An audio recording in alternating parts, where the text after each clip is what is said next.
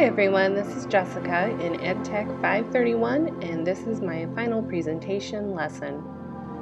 My lesson centers around the concept of hunter-gatherers in prehistory and the transition into the agricultural revolution followed by the rise of city-states and civilizations.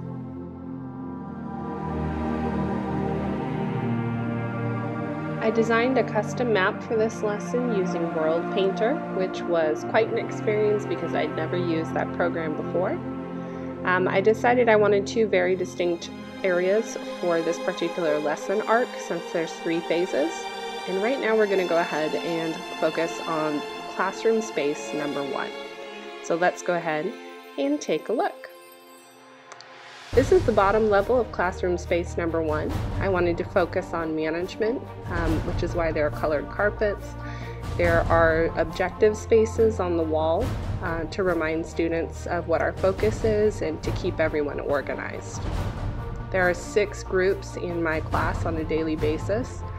And um, so I came up with the six colored maps, which emulates what we saw on some of the other lesson experiences previously in this particular class. My classroom is organized into six different Classcraft groups. So there are storage areas on either side of this classroom. So you can see behind me right now and over on to the left. So each chest is labeled with a different group name and groups can store various items in there between rounds of gameplay. Let's go ahead and head upstairs to the secondary classroom space. I'm calling this the observation deck. This is our area for debrief and reflection and whole group discussion. I teach 10 year olds, so I thought it would be a good place to sort of emulate regular classroom norms in terms of listening and speaking. Um, I went ahead and in front of this podium, I posted on signs the various expectations for um, discussions in class. And then this little podium gives me a nice place to be able to see everyone who's participating in the room. Now if we go back downstairs, I have a warning posted right over the door that says outside these doors you are in survival mode. So students need to be ready right from, from the moment they step outside.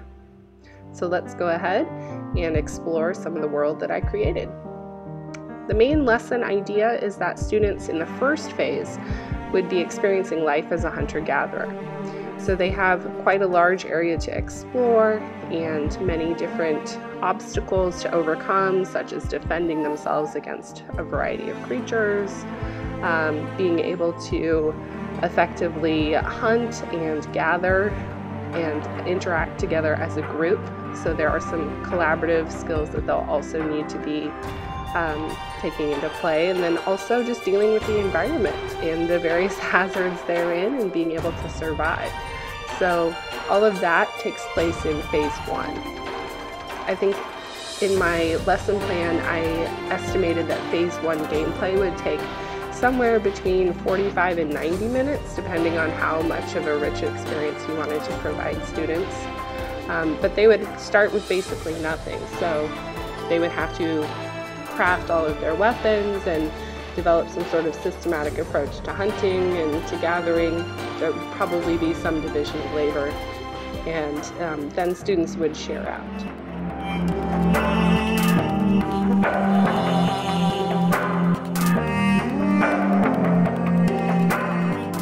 In phase two and three, things get a little bit more complex. Students make the shift from uh, hunting and gathering to permanent settlement. So with that, they come upon this secondary classroom area, which is built around a river. It's predominantly flat land, so students have um, space to be able to start constructing their irrigation systems and to gather seeds to be able to begin sustainable agriculture. So this is a, a shift in the game that is supposed to emulate the real life agricultural revolution. Phase three is all about building permanent settlements, and again, there are these wide open spaces over here by where their agriculture will be developed so that students can develop city states. Uh, for this project, I developed a really detailed lesson plan. It was important to me that the lesson plan is replicable because my district has other teachers who are also using Minecraft, and I want to make sure that I'm able to share what I create. I have detailed instructor guides with timelines, notes, contingency plans. All the student materials have been developed, including the customized map, which you see here in World Painter. And then I also came up with a student workbook. The first task in the workbook is a Minecraft survey to help me make sure that each group has somewhat of a Minecraft expert in it. And then for each phase, there are different tasks outlined. So different tasks students have to do, and then different reflective questions to make sure that we're meeting the standards and making it a rich learning experience.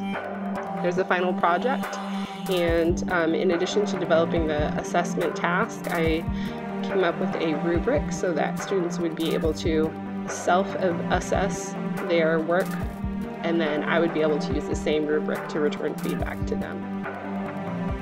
Thank you for watching my virtual lesson for EdTech 531.